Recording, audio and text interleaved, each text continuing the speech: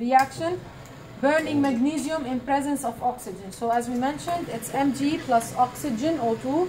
It will give magnesium oxide. Now this is the magnesium ribbon. We're going to burn it. Now you see this? What I see now? Light. This is the flame. It has a white color. Now I'm going to put it over here. And I have uh, okay, done. Okay? Yes. No. No. Thank you.